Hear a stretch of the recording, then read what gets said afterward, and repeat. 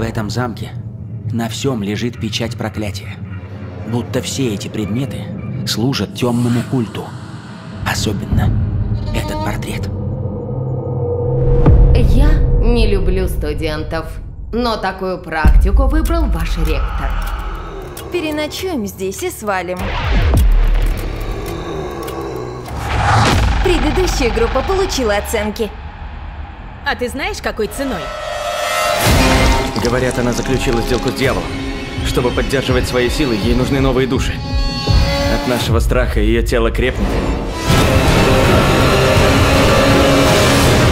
И дьявольская сила растет. Она управляет нами! Ее сила в портрете. Нам нельзя бояться. И надо узнать историю замка.